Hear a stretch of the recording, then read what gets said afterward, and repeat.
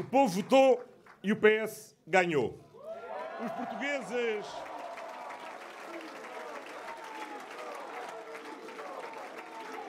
Os, os portugueses. Os portugueses confirmaram hoje, de modo inequívoco, o que já tinham dito há dois anos atrás. Desejam um governo do PS para os próximos quatro anos.